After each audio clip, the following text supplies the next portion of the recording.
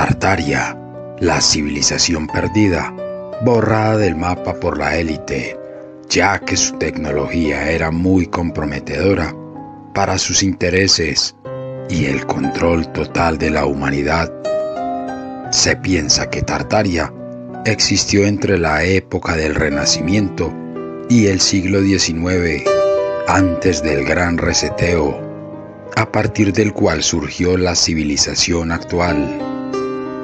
Contaba con energía ilimitada, incluso si aprecias algunas imágenes detenidamente, pareciera que manejaban tan bien la energía que tenían contacto con seres del más allá.